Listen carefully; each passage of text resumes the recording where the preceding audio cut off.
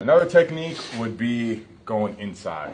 That's really painful. When you go inside, that's more like bicep to bicep.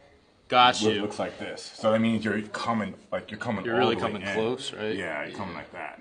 So how do you initiate that? You just Well, you start high first, right? uh huh.